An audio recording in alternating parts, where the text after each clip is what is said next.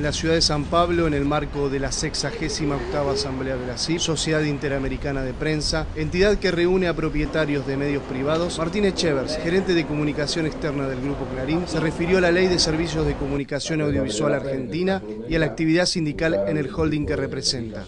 ¿Considera que el marco regulatorio de los medios audiovisuales anterior a esta ley era mejor? No, yo considero que la Argentina se debía a una nueva ley de radiodifusión.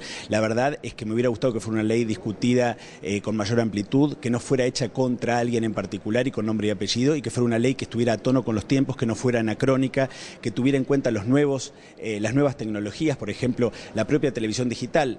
Fíjese usted qué paradoja que la televisión digital que ha instalado el gobierno se ha hecho al margen de la ley de medios y los canales que hoy están allí, los 24 canales, fueron elegidos a dedo, sin concurso ni licitación.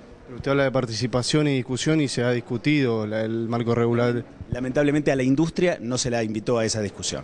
Sí, han sido invitados, digo, en el Congreso tuvieron oportunidad los medios privados de participar, de hecho lo hicieron algunos. Claro, lo hicieron, pero no se los tomó en cuenta. ¿Qué opina acerca de que en medios como el Grupo Clarín esté prohibida la actividad sindical?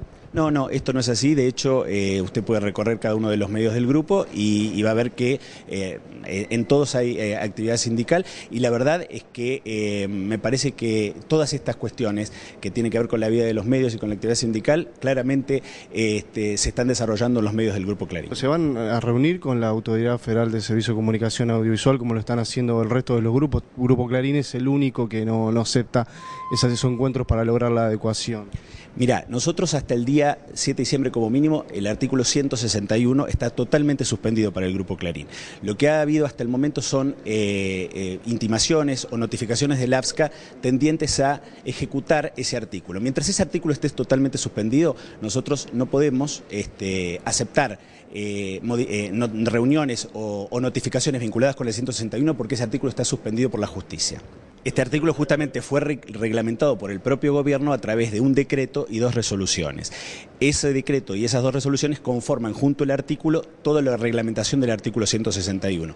Esto, en el peor de los casos, empieza a regir para Clarín el 7 de diciembre. Antes del 7 de diciembre está totalmente suspendido tanto el artículo como el decreto y las resoluciones que lo reglamentan.